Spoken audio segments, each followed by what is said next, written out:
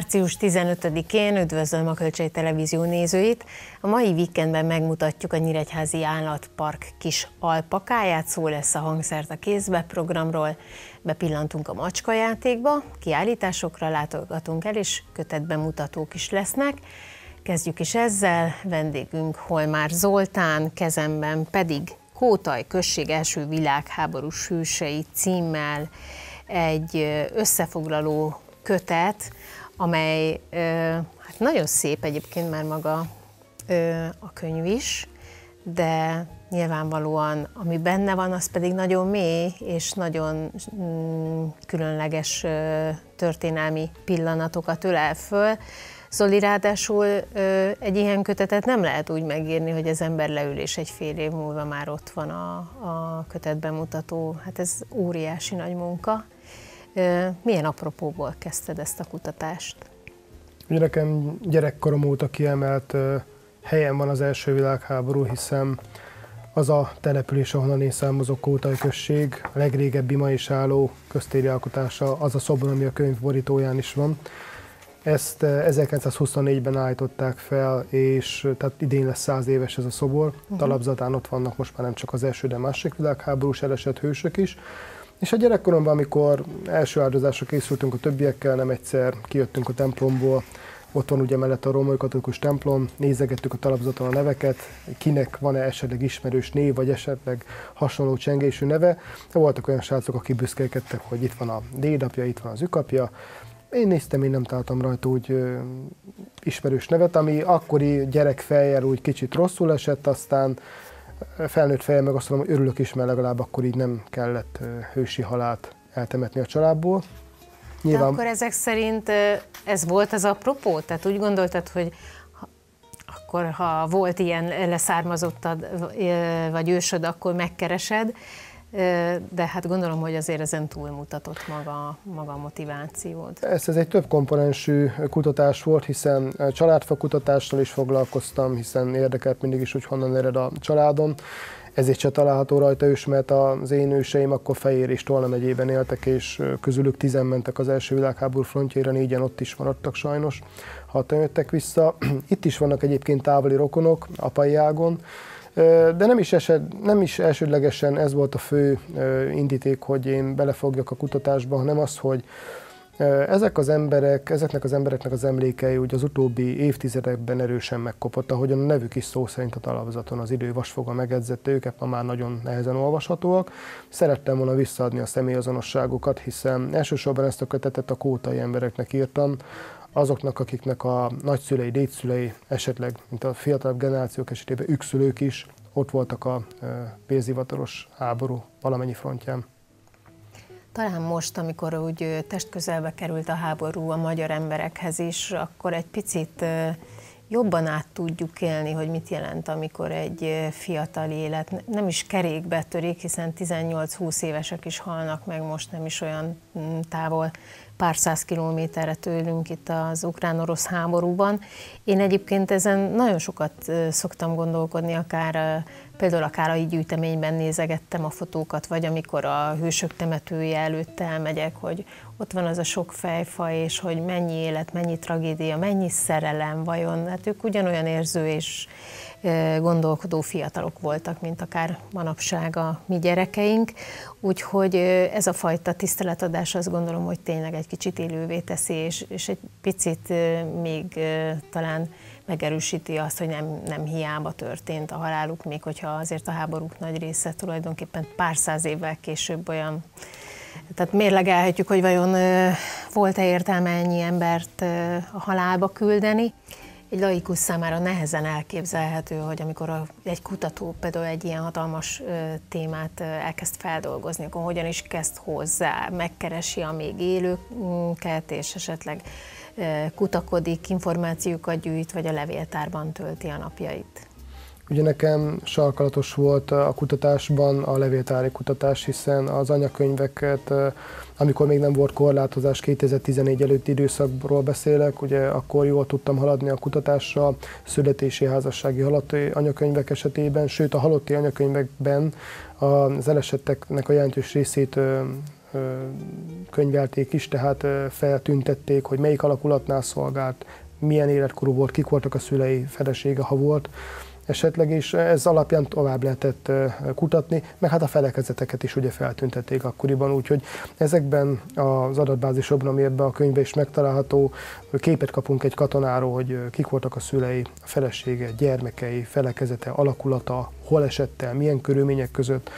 Hát nem egyesebben, nekem is úgy a szívem szorulta, amikor terítékre került mondjuk egy-egy katonának a kis kivonatult életrajza, hogy valakiről azt olvastam, hogy matrózként egy csónakban találtak rá, valakit egy szénakazal mellett holtan találtak meg, de volt olyan is, hogy odaírták megjegyzésbe, hogy a teste az ellenség kezén maradt. Mm. Tehát azért ezek egyszerű hétköznapi fiúk voltak, nézegettem az életkorukat is, nem egy, velem egy idős volt, több gyermekes családapa, volt, aki jóval fiatalabb, volt, aki idősebb. Tehát a nagy volt a szórás, a legfiatalabb 18 éves volt, a legidősebb meg már 54. életévét taposta. Szoli, hát megszületett ez a mű, egy kicsit szerintem úgy érzed magad, mint egy anya, amikor örül, hogy világra hozta, de valahol ott van egy ilyen üresség, hogy akkor most, most annak a 12 esztendőnek, amit te ezzel a várandósággal töltöttél, így vége lett, úgyhogy gondolom, hogy vannak már elképzelések a jövőre is, mint dolgozol most. Folyamatban van párhuzamosan több kutatás is. A munkámból adódóan elsőlegesen a Nagykálói Kálai családdal kapcsolatban folytatok kutatásokat, ugye nekünk elsőlegesen ezek szerepelnek publikálási lehetőségként a Józs András Múzeum évkönyvében, illetve a Kálai gyűjteményben is saját kiadványokon dolgozunk de természetesen nem szakítottam a, a hobbi kutatásokkal sem, ami például ennek az egyik ennek a terméke, ez a kötetés. Tervezem a településnek a másik világháborús hőseit is összeszedni, illetve a 48-49 szabadságharc hőseit is a Kótai községre vonatkozóan. Köszönjük szépen! Köszönöm! Maradunk a történelemnél a következő percekben is. 19. századi bécsi fotókból, kottákból és egyéb fotótörténeti érdekességekből nyílt kiállítás a Móricz Zsigmond megyei és városi könyvtárban. Ebből következik most egy összeállítás. Egy internetes képmegosztó portálon az utóbbi évek folyamán kialakult egy régi fotográfiák szerelmeseiből álló virtuális közösség, melynek tagjai nagyon szép és gazdag képanyaggal rendelkeznek többek között bécsi műtermekben készült portrékból. Így adódott, hogy létrehozták a Wiener Walzer kiállítást, amely most a Nyíregyházi Móricz Zsigmond megyei és városi könyvtárban tekinthető meg. Az ötletet a Debrecen Egyetem könyvtárában lévő egyik kotta adta, aminek az a címe, hogy Wiener Ball Fotografian Walzer.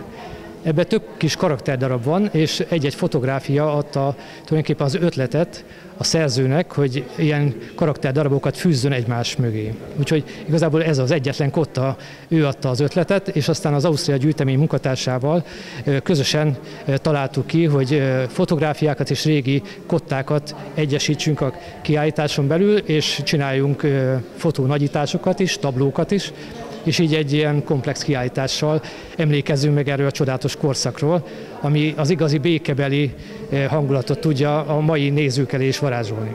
A rendszerváltás után osztrák könyvtárak jöttek létre Kelet-Közép-Európában. Gyűjteményeket, központokat hoztak létre.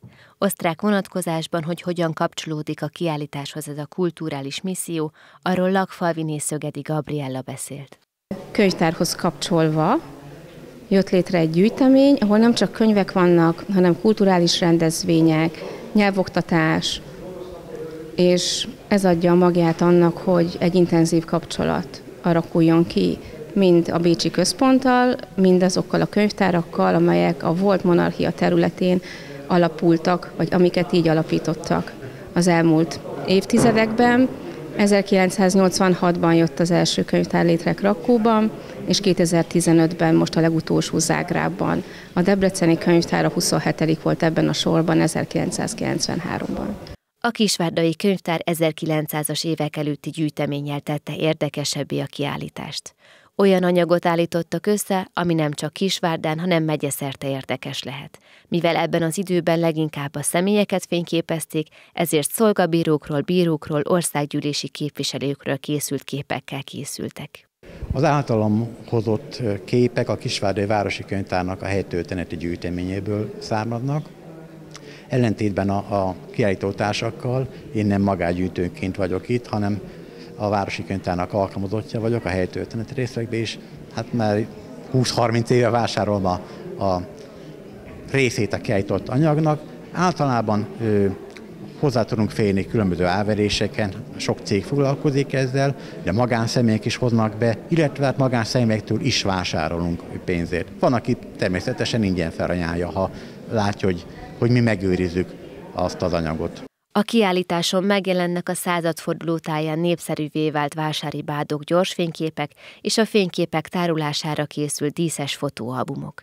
Emellett a korszakra szintén jellemző keringőlász dokumentumaként bemutatják a korabeli kőnyomatos bécsi kiadású kottákat is. A gyűjtemény március 28-ig tekinthető meg a könyvtár hivatalos nyitvatartási ideje alatt.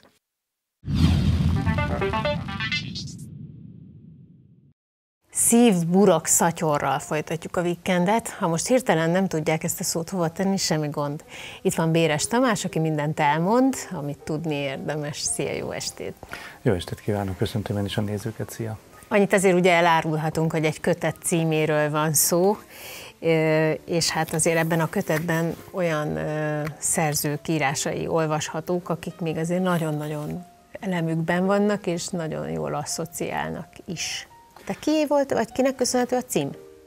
Hát az a cím az, hogyha most megkérdezed, hogy pontosan micsoda, akkor, vagy mit jelent, vagy miről, honnan kapta ezt a, vagy mit jelent ez a szó, akkor bajba lennék, mert csak a verset tudnám idézni, a Tóth Virág fiatal alkotónk versét, akinek annyira megtetszett ez a vers címe nekünk, szerkesztőnknek, a Zsukának és nekem, hogy ezt a címet választottuk ennek az antológiának, mert hogy arról van szó, egy kamasz fiatalok, fiatalok antológia szerzőinek eh, egy most megjelenő antológiáról, és eh, hát így lett ez a cím, eh, és ez már mutatja azt, hogy, hogy olyan alkotókat találtunk, akik az elmúlt közel tíz év alatt, 2017 óta működik ugye a Kamasz Antológia könyvtár, vagy a Kamasz Terasz közösség a könyvtárban, és az ott jelenlévő vagy azon résztvevő fiatal alkotók verseiből, novelláiból, írásaiból, hajkújaiból válogattunk.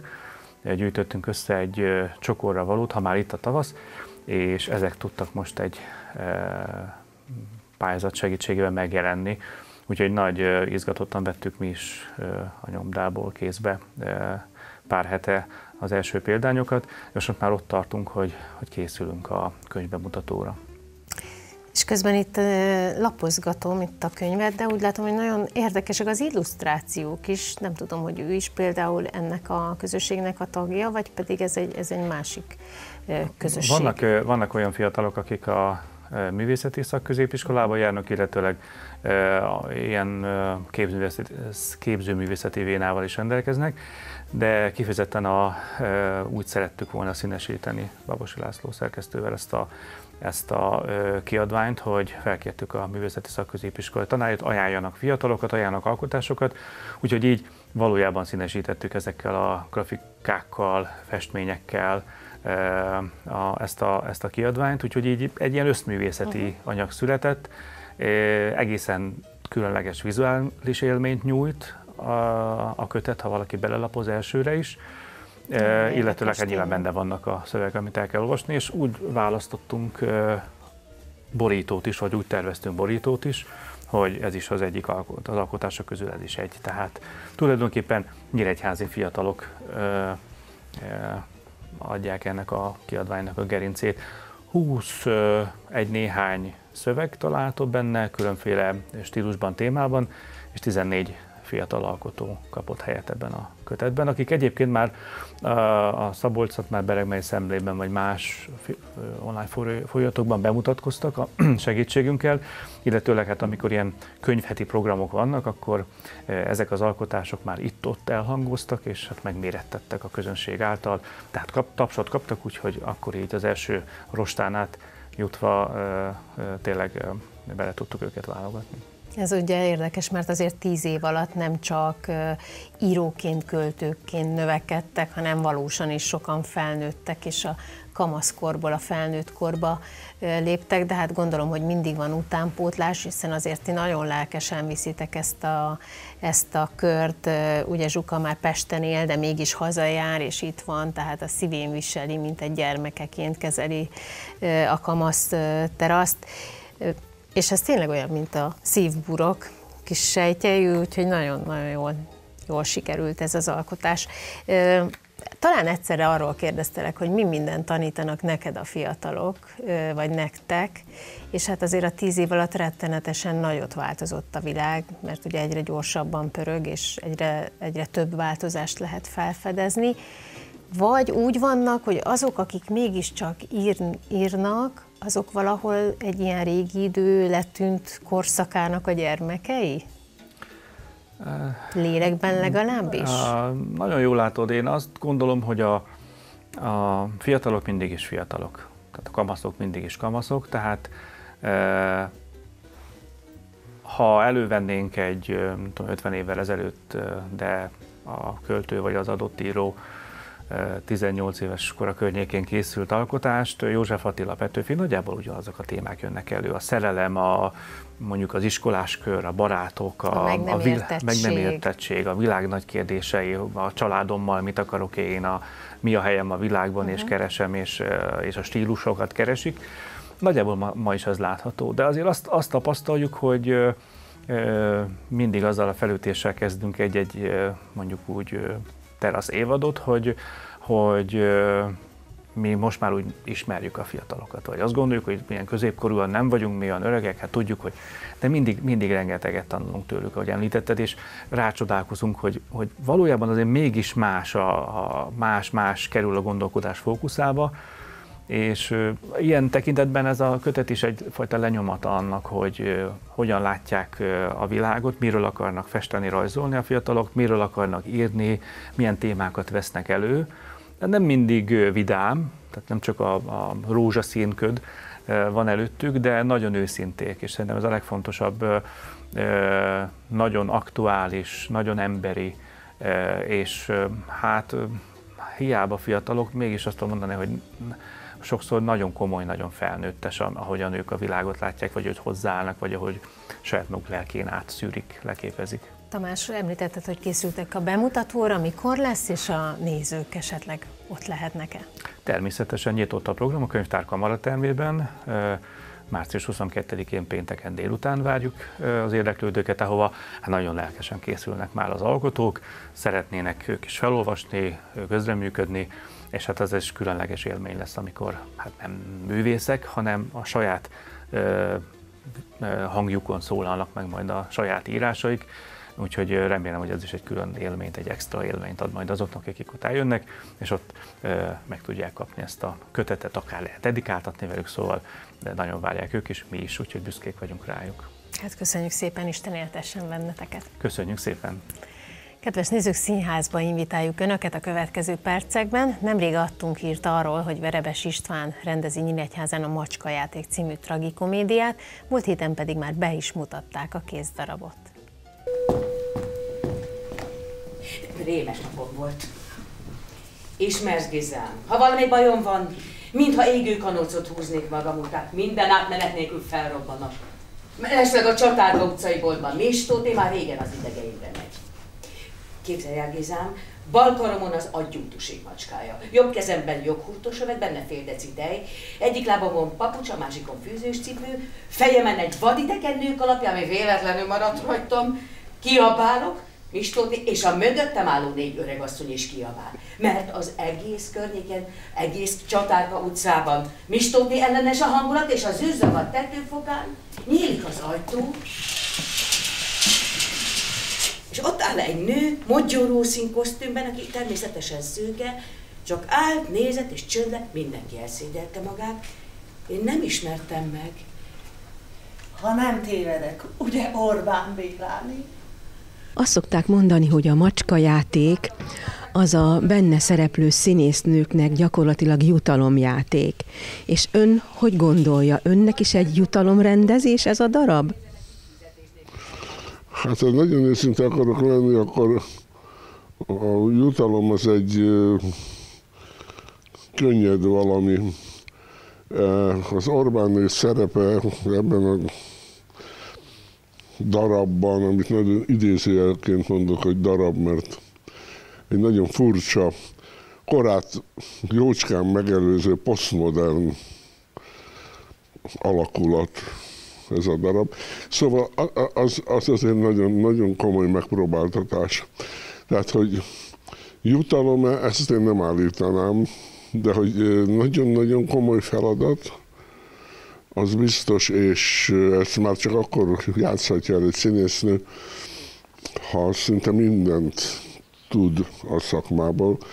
De a Pregitszer erre egyébként predestinált. Az önválasztása volt, vagy mennyire volt ez a színházvezetéssel közös választás, hogy éppen a macska játékot fogja itt rendezni Nyíregyházán? Nem tudom. Nekem nem volt választásom, én már egyszer ö, megrendeztem Győrben. Ö, attól tartok, de ez nem biztos, hogy így van, hogy, hogy a színésznőnek volt egy vágya, hogy ezt eljátszom, és feltételezem, hogy az én szerepem is az ő döntésétől függött. Tehát valószínűleg, hogy ő kérte, hogy én dolgozzam vele, már csak azért is, mert nagyon sokat dolgoztunk együtt, és ez mindig megtisztelő, mikor egy színésznő bízik a rendezőben. És mennyire érzi sikeresnek ezt a próba folyamatot, aminek itt már mindjárt vége lesz? Nem szokásom önreflexiókra vetemednem. Mindig a lelkiismeretem az egyetlen útmutató, hogy megtettem-e mindent tapasztalataimból és készségeimből kifolyólag szorgalommal, figyelemmel. Remélem, hogy jól fogok aludni a premier éjszakáján is e tekintetben. Azt mondja ön, hogy gyakorlatilag egy posztmodern, tehát annyira meghaladta a korát őrkény ezzel 1970-es évek elején valahol, azt hiszem. 1970-ben kerültek ezekbe a darabba, 25. színháznak voltam fiatal tagja, és ott a Gyurkó minden kezébe került darabot körbeadott a színészeknek. És teljesen véletlenül a macskajáték is ezek között volt, amit én akkor nem, nem is fogtam föl, mert, mert semmire nem hasonlított. Tehát nagyon-nagyon-nagyon korai ö, ö, látás. Hát a őrkény egyébként is egy rendkívül-rendkívüli szerző. Mi a titka ön szerint ennek az előadásnak? Amerikában is sikeres, Nyugat-Európában is sikeres, tehát nem csak itt Magyarországon. Ön szerint mi lehet ennek a titka? Én azt hiszem, hogy ez most nem divatos, amit mondok, ez a darab a szívhez szól. Ez nagyon emocionális darab.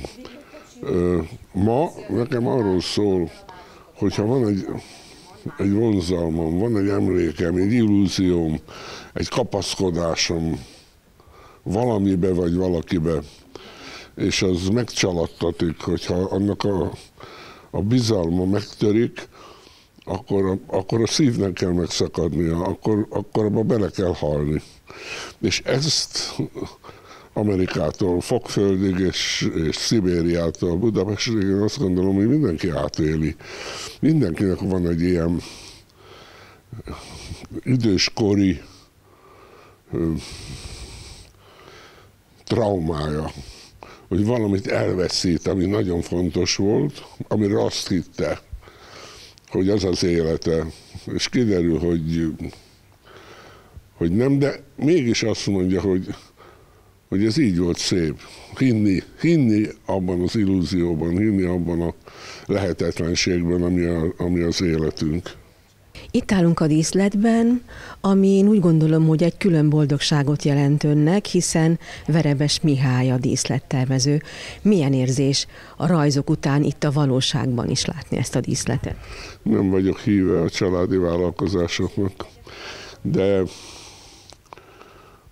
az édesapám halála előtt két évvel Kazimir Károly fölkért, hogy a saját darabomat az édesapám főszereplésével rendezzem meg, és ez egy nagyon-nagyon fontos pillanat volt az én pályámnak. A kisebbik fiam az ebben a városban fogant pontosan 29 évvel ezelőtt. Itt éltem a legboldogabb pillanatokat, mikor 49-50 éves koromban egy, egy fiúgyerek volt a a testemen, amikor aludtam, és ez a gyerek, ez nagyon komoly felnőtté vált. És amikor mondtam, hogy ezt a darabot rendezem, hogy olvasd te mit csinálnál?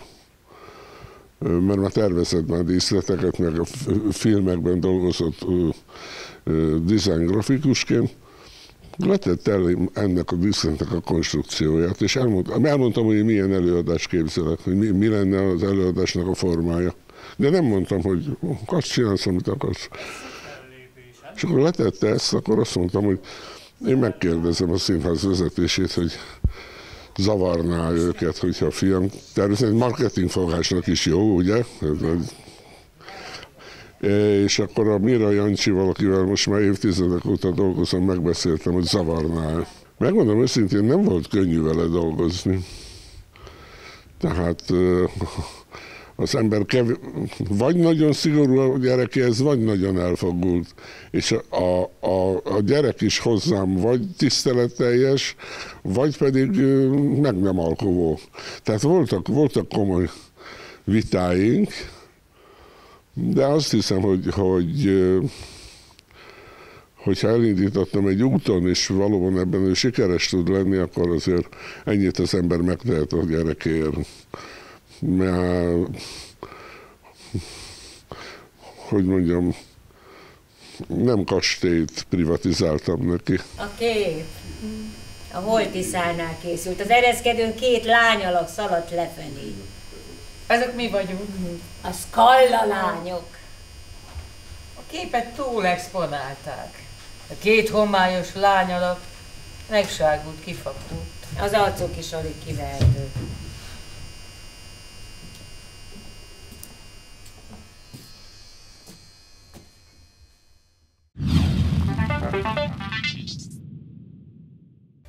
Macska után alpakával folytatjuk a vikendet, de csak a híradó után, sőt, Német Erika kiállításának megnyitóját is megmutatjuk, maradjanak velünk. Üdvözlöm újra a Viken nézőit, Alpaka Csikó. Ha ezt a két szót elég gyorsan mondják ki, akár Alpacsinónak is érthetik, hát pont így kapta a nevét a Nyíregyházi Állatpark legfiatalabb alpakája, őt mutatjuk meg a következő percekben.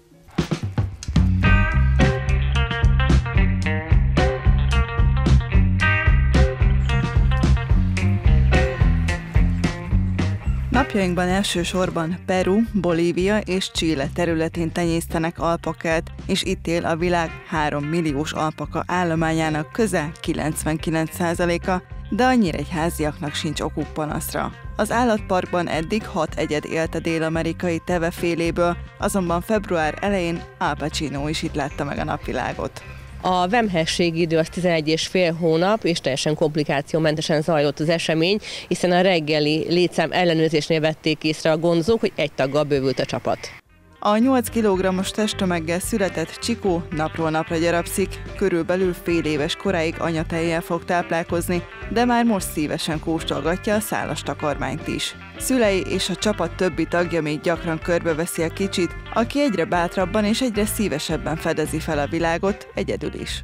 Az állatgondozók ő, gangsternek titulálják ők elmét, ugyanis már most kötekszik egy hónapos mi volt a ellenére a vezércsődőre. Alapvetően az alka, alpakákról ő, kevesen tudják, hogy tevefélékhez tartoznak, egy Dél-Amerikában őshonos háziasított állatfaj, akit kifejezetten a gyapja miatt háziasítottak, mégpedig az inkák a második, negyedik században. Annak idején annyira tiszteletre méltó volt alapvetően ez a faj, hogy a királyi palástot is az ő gyapjából készítették. Az Alpaka csapat tagjai gondozójukat és stábunkat megtűrték maguk mellett a kifutóban egy rövid időre, de a látogatókkal nem lennének ennyire barátságosak. Alapvetően hazánkban egyre több az alpaka farm, ő többféle módon vagy hobbiátként tartják őket, vagy pedig a gyapja miatt. Ő, szelid állatok, de a mi állataink nem annyira készelidek, nem szeretik a simogatást, abszolút nem problémáznak, hogyha a gondozó itt van, de nincs babusgatás, és az a dolguk igazából, hogy mutassák az andok kalandok élővilágát. A vendégek egyébként egy hatalmas kifutórendszeren felett ö, láthatják őket, egy függő hídon keresztül haladva, illetve egy látvány ö, kifutó Platón is, és jelenleg is éppen megcsinálják ők elmét.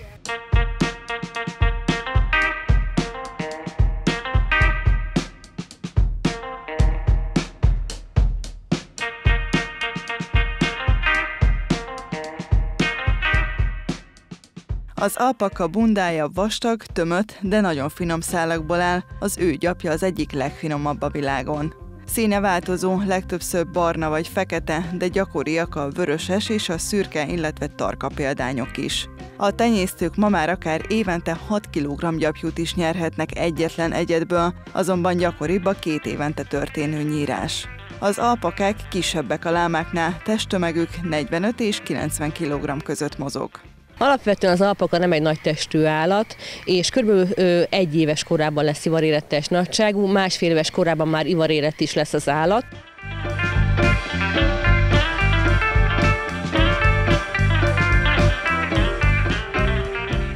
5000 állatunk van, nagyon sok a fajmegőrzés program keretében található itt.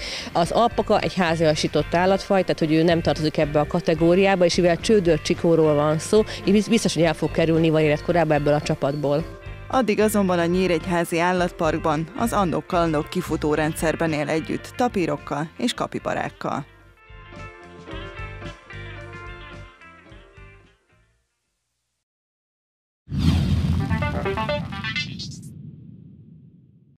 Március 25-től hétfőtől egészen szerdáig teljesen ingyenesen lesz látogatható egy zenei játszótér, vagyis egy hangszer kiállítás a Vikár Sándor Zeneiskolában. Vendégünk a program koordinátora Kazár Tiziana. Szia, jó estét! Szia!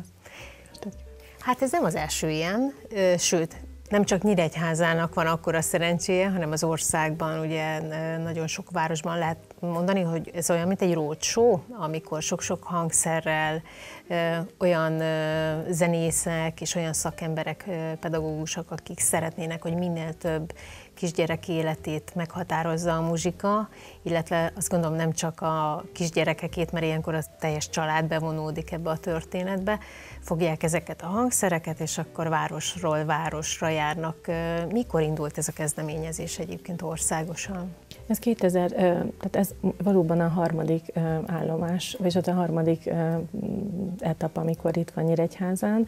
2017-ben volt itt először, majd 2021-ben, és most ez a harmadik alkalom, és mindig nagyon nagy sikerrel vannak a rendezvény iránt mind a szervezők, és mert hogy nagy az érdeklődés valóban. Most is éppen folyik, azt hiszem, mert az egyik taggal, az egyik nyíregyházi kötődésű Turcsán András, jó barátom, éppen Újpesten van egy ugyanilyenen, és majd, tehát valóban egy roadshow, nagyon nagy sikerrel, és tényleg korhatártól függetlenül jöhet bárki. Mm. És hogy kell ezt elképzelni? Gondolom, hogy a zeneiskolát benépesítik tulajdonképpen a rócsó résztvevői és a hangszerek, és akkor kell-e előzetesen regisztrálni, vagy azért ilyenkor ö, tényleg olyan, mint egy játszótér, és akkor nyílnak az ajtók, és bárki mehet, és Na most ugye a Vikán Sándor zeneiskolában van két nagyobb hangversenyterem, egyrészt erre én nagyon büszke vagyok, hogy ez, a, ez ad otthont, az, az intézményünk ad otthont ennek, mert hogy hol is lehetne más jobb helyen, mint egy ilyen ö, aktualitással, egy ilyen rendezvény nálunk. A hangversenytermünkben rengeteg hangszer, több száz hangszer ki van pakolva. Na most ezek a hangszerek, ezek nem csak úgy hangszerek, hanem, hanem a legújabb technológiájú, és még szinte lehet, hogy a polcról éppen az előtti napon jön le, olyan, olyan aktuális felszereltséggel vannak ezek kiállítva, és a Piccoli Architermünkben pedig előadások vannak, úgynevezett rendhagyó énekórák, és valóban szeretettel várunk mindenkit. Én most veszem ugye, mint koordinátorként veszem a kapcsolatot föl minden iskolával, óvodával, hogy, hogy tudtukra adjam, hogy ez mennyire nagyszerű, mert hogy ez a rendhagyó énekóra sem olyan, hogy leülnek a gyerekek és mint egy iskolai énekóra, hanem ez egy teljesen interaktív, teljesen laza, egy, egy tehát egy, egy nagyon maradandó élmény, különböző témakörökben. Ugye ez egy könnyű zenei játszótér, tehát a, a könnyű zene az az alapkészlet, a hangszerkiállításnak is a könnyű zenei hangszerelés a, a fő váza, tehát a dob, ütőhangszerek, a gitárok, basszusgitár, szólógitár, az énekes, énekléssel kapcsolatos technológiák, illetve billentyűs hangszerek, és még extra népzenei vonulat, illetve uh, még az elektro, elektronikus zene, tehát a DJ-k is jöhetnek, uh-huh. mert uh, arra emlékszem, hogy mindenféle trükkökkel lehetett ilyen DJ pultokat látni, tehát nagyon menő uh-huh. az, ami lent van. És akkor az ehhez kapcsolódó, nagyon laza, nagyon hangulatos előadások pedig 45 perces órák, ha lehet így mondani, az pedig a Piccoli Architermünkben van, és akkor tulajdonképpen nincs más teendője az érdeklődőnek, a telefonszámom és az elérhetőségem az közzé van téve itt a különböző promóciós anyagokon, felvesz, tehát vagy előbb-utóbb találkozik a kapcsolat, és, és akkor megbeszéljük, hogy mikor szeretnének jönni, és akkor mind a két, hát az a, az a jó, ha mind a kettőbe belekóstolnak, megtekinthetnek egy nagyon jó kis előadást, és minden gyerek a kezébe veheti a hangszert. Na most száz fő a létszámlimit, tehát ez is elég nagy ahhoz, hogy hogy be vagyunk arra rendezkedve, hogy, hogy, hogy jöjjenek jó sokan. Tehát nem, nem ilyen sorbanállásos divan, hanem, hanem jönnek, és akkor ott a, a hangszer bemutatók, ezek a srácok nagyon hangulatosan zenei illusztrációkkal élményszerűvé teszik ezt a hangszert a kézbe dolgot, és biztos vagyok benne, hogy az előadások is nagyon jók, és egészen a középiskolás korosztály, sőt a felnőttek is megtekinthetik. 15 óráig vannak, 8.30-tól, reggel 8.30-tól 15 óráig vannak a, az előadások, és este 6-ig van a hangszersimogatás, úgyhogy bízom benne, hogy most nagyon sokan látják ezt az adást, és akit még esetleg nem értem el telefonon, kedvet kap, és várjuk szeretettel. Igen, én még nem voltam, de el tudom képzelni, hogy kicsit olyan koncert hangulata is van, azért a zenészek ugye laza mm, figurák, és tényleg itt megnézhetik a hangfalakat, a billentyűs szekciót, a komoly zenei hangszereket is, úgyhogy tényleg olyan, mint egy nagy karnevál. Mérhető egyébként egy-egy ilyen, mert ahogy mondtad, három évente, tehát 21-ben, akkor három éve volt az utolsó. Mérhető utána az, hogy a zeneiskolában többen jelentkeznek? Egyébként is nagyon népszerű a Vikár Sándor Zeneiskola, és ugye teltházzal működtök, de, de van-e ezek után egy ilyen jelentkezés dömping? Hát valójában ez az egész kezdeményezésnek a, a célja is. Nyilván nem az, hogy a vikárba jöjjenek jó sokan, de mi, mi tapasztaljuk, hogy, hogy a gyerekek egyre inkább keresik a tartalmas kikapcsolódást. Na most ezt a mondatot, ezt felolvasom a jegyzeteimben, nem, mert ez nagyon szépen meg van fogalmazva ez az egész, és ez a cél, hogy ne kalódjanak el. Hiszünk abban, hogy a zene ugyanúgy megmenthet fiatalokat az elkalódástól, mint a sport vagy egy jó tanár. Tehát, hogyha én úgy látom, hogy a gyerekek egyre inkább keresik ezt a hasznos hobbit, ezt az időt, ezt a, ezt a hasznos dolgot, mert, mert azért azt ugye tapasztalják, hogy mindenki el, elítéli azt, hogy ne nyomkodj gyermekem, ne nyomd a tabletet, telefont, tehát keresik. Érzik azt, hogy ez sokkal több, és ebbe ez a gyönyörű, hogy, hogy hozzánk is valószínű azért jönnek most már egyre többen, mert egyrészt a szülők is egyre jobban támogatják ezt, hogy, hogy értelmes hobbija legyen a gyereknek, arról nem beszél, hogy az egész személyiséget egy ilyen, akár egy ilyen esemény meghatározhatja. Most gondoljunk el egy kistérségi tehát most nem előítéletekkel mondom, hanem, hanem úgy, hogy egy olyan gyereket, aki lehet, hogy látott már mikrofont, vagy gitárt, vagy bármit, de még lehet, hogy a kezében nem fogott. Lehet, hogy, tehát, hogy meghatározhatja egy ilyen pillanat, hogy ú, de jó, de én megtaláltam magam ebben, hogy megszólaltatom ezt a hangszert, és remélem, hogy igen, többen fognak jönni ezáltal. Köszönjük szépen, az jutott eszembe, hogy pár évvel ezelőtt a rendőrség szakembereivel beszéltünk arról, hogy például igen, a zenei képzés sok esetben megmenthet olyan gyerekeket, akiknek nincs más kitörési lehetősége, és gondoljunk itt a különböző tehetségkutatókra, akár Oláibolyára, de ugye mindig feltűnnek olyanok, akik vagy mély szegénységből jönnek, de tényleg ott van bennük a tehetség, és ha jó időben kapnak egy hangszert a kezükbe, vagy egy jó mentort, vagy pedagógust, akkor, akkor egy sokkal simább és szebb életet élhetnek, úgyhogy biztatunk mindenkit, tehát március 25-től 27-ig látogassák ezt a rendezvényt. Köszönjük, Köszönjük. hogy itt jártál. Alvó Szépség címmel nyílt meg nemrég Német Erika kiállítás a Váci Mihály Kulturális Központban, erről következik most egy összeállítás, utána pedig az intézmény igazgatójával beszélgetünk a további programokról. Mindannyiunkban él valahol egy tiszta, ifjú lélek, aki álmában bolyog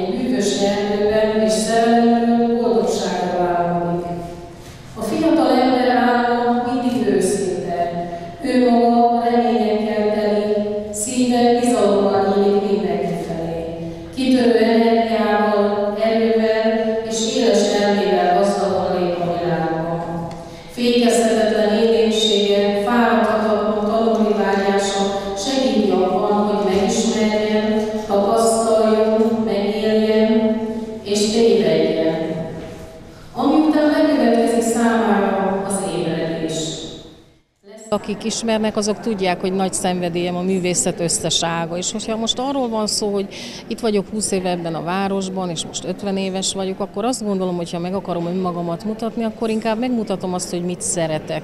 És hát, hogyha ezzel én is tudok adni a közönségnek, és a zene, a képzőművészet, a tánc együtt tud hangzani, mint ahogy az én életemben teljesen egy, együtt hangzik, és igyekszem minél jobban és minél többet tudni ezekről az egyéb művészeti ágakról is és hát nagy szenvedélyem a balett, és mindenképpen ezt a témakört szerettem volna feldolgozni, az Aurora témáját, Csipke Rózsika témáját, ennek a balettnek a, az egész történetét, a mese szövetét, egy kicsit ezt érlelni, és ezt együtt a, a zenével, a tánccal és a műveimmel. Egy nagyon kedves szobrász kollégámnak a felesége, egy balettmesternő, Szit Melinda mesternő, vele megismerkedtem néhány éve, és többször elvitt a balett intézetbe, pontosabban a Magyar Táncművészeti Egyetemre, és sikerült egy kicsit ebbe a világba belátni, csodálni ezeket a gyönyörű táncosokat, fantasztikus munkát végeznek, és ő rajta keresztül, Szit Melinda mesternőn keresztül tudtam Brieber tanszékvezető mesterrel kapcsolatba kerülni, és ők ajánlották a balerinát. Tehát kifejezetten kiválaszthattam a, a darabnak a részletét, azt a szóló részletet, szóval ez egy nagy álmom volt, hogy ezt itt, ezt a kedvenc részletemet, ez a csodálatos hölgy itt előadja.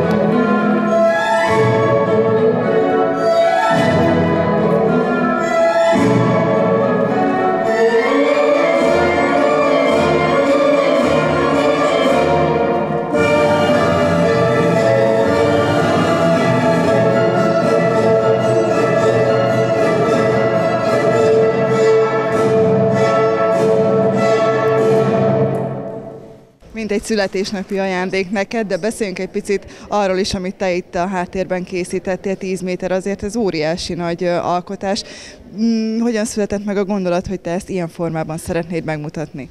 Nagyon szeretem az orosz balettet, és nagyon sokat figyelem ezeket az előadásokat, járok külföldre is, és mindig lenyűgözött az a gyönyörű díszlet megmunkálása, hogyan ezek a balett előadások vagy operák születnek, és mindenképpen szerettem volna egy ilyen nagy szövevényes teret, ami egy kicsit szimbolizálja Aurora kertjét, ez a szövedék, nekem az én saját személyes kertem is ilyen, tehát onnan vettem a, a témát, onnan vettem a részleteket, és abból komponáltam meg ezt a nagyméretű művet. Milyen technikával készült, és egy ilyen hatalmas alkotás mennyi idő volt elkészíteni? Két hónap, úgyhogy, úgyhogy tanítok is teljes állásban, szóval nem volt egyszerű, és a, a figura is. Tehát két hónap alatt a figura és a, a kép született meg, így eldöntöttem, hogy ezt szeretném megcsinálni. Nem akartam ré régi munkákat, nem akartam telerakni a teret, azt akartam, hogy mind a három művészeti ág egy, egy súlyjal jelenjen meg a zene, a tánc és a képzőművészet.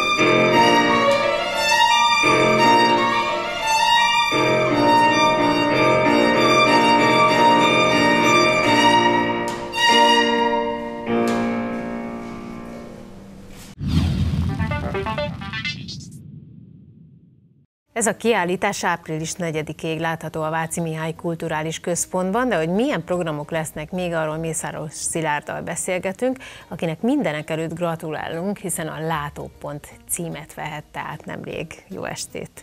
Jó estét kívánok, köszöntöm a kedves nézőket is. Hát gratulálunk szívből. Na most a nézők lehet, hogy nem tudják. Ez nem azt jelenti, hogy látók tehát jöve, jövőbelátók érkeznek a művelődési házba, és nem is azt, hogyha valaki, bár ott a szemeletről kitekintve elég szép látvány tárul a látogatók elé, mit is jelent ez a cím? Hát igen, jól érzékeled, ez nem erről szól. Van egy országos szakmai szervezet, Magyar Közösség Építők Értékvédelmi Egyesülete, ők írtak ki egy pályázatot, amikor is amire ugye természetesen Kultúrás Központ pályázott. Tulajdonképpen ezt a szakmai munkásságunkért, innovációinkért, rendezvényeinkért nyertük el ezt a megtiszteltő címet. Ez azt jelenti, hogy felkerültünk egy országos látó úthálózatra.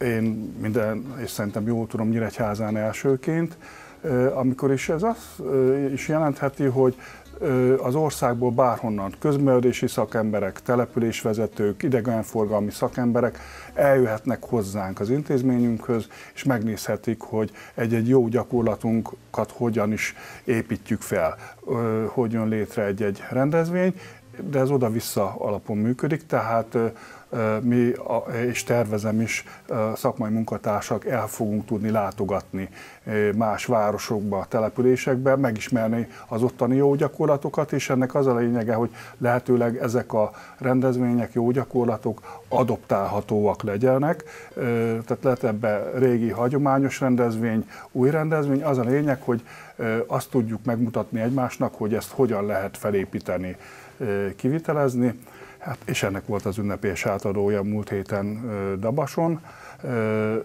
Hát én azt mondom, hogy ez egy újabb, nagyon nagyszerű elismerésünk. Ugye kezdődött, hogy 2015 óta Agóra Kulturális Központ, 2021-ben a minősített közművelődési intézmény díjat vehettük át, jó magam, illetve szakmai munkatársaim is köb, ö, országos, illetve helyi ö, elismerést, ö, kitüntetést vehettünk át, és ebben a sorban ö, következik most ez az úgynevezett ö, látópont, ami mondom, kimondottan a közművelési munkánk elismeréseként értelmezhetünk. És lehet még ezt folytatni? Vannak még olyan díjak, amit még nem zsebeltetek be?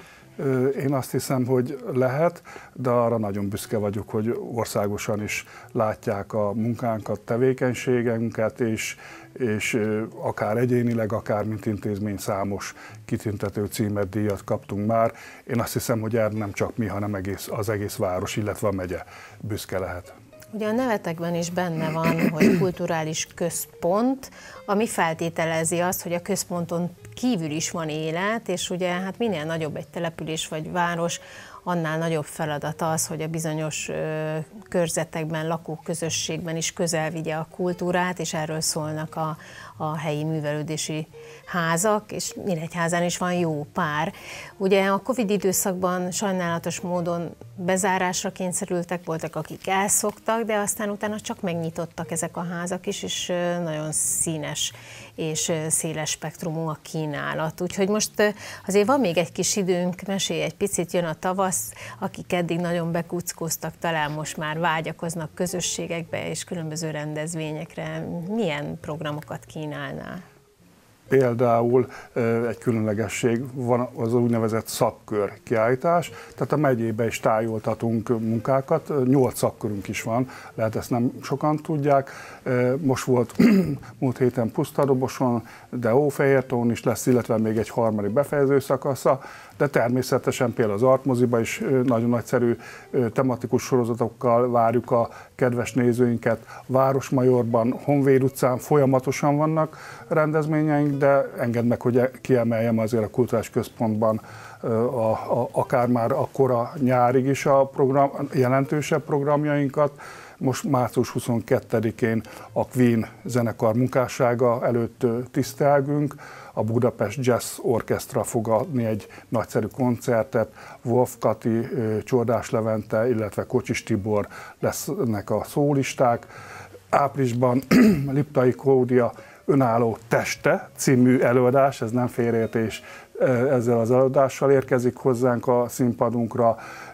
Májusban én úgy gondolom, hogy nagyon sokan, jó magam is szerettük és szeretjük a Boniem és az Abba slágereit.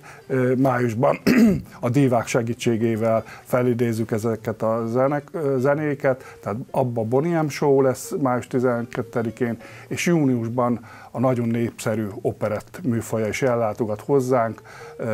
Egy operett revűre kerül sor június 14-én, a főszereplő pedig Oswald Marika lesz. Uh-huh. Úgyhogy ezek a kiemelt rendezvényeink, de természetesen a Szépkurak Akadémiája indul áprilisban, és hát most, ha valaki ellátogat, nagyon komoly kiállítások is vannak, akár a központban, de megemlíthetem, hogy nem sokára egy nemzetközi hírű kiállítást nyitunk január március 20-án a Nyíregyházi Városi Galériában. Erről még többet nem szeretnék, mert még itt a háttértárgyalások mennek, de de egy becsületrendel, illetve Kossuth díjjal kitüntetett művésznek a munkásságát fogjuk elhozni, ami az országban csak öt agórában lesz, mi leszünk ebből a másodikak. Úgyhogy minden programukra nagy szeretettel várunk minden érdeklődőt. Szilárd, köszönjük szépen, aki pedig most úgy érzi, hogy ez a bőség zavara, akkor látogassa meg a honlapot és szemezgessen, és gratulálunk a díjhoz is. Nagyon szépen köszönöm.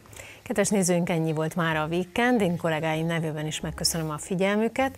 Tartsanak velünk jövő héten is, ugyanebben az időpontban várjuk majd önöket, akkor is érdekes és színes témákkal. Addig is kellemes pihenést és jó hétvégét kívánok önöknek viszontlátásra.